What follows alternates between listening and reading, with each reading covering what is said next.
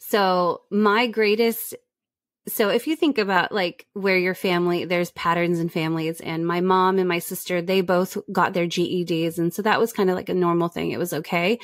Um, but I understood that when I got into like when I got a few years older into like my junior year almost my senior year I understood that wow like I actually need to take this seriously because I could be the first one in my my family to actually get a diploma and walk with my class.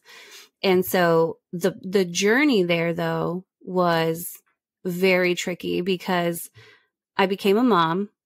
I was now a sophomore. I changed schools.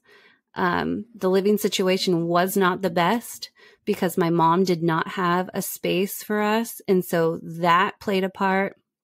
There was a lot of um, like abuse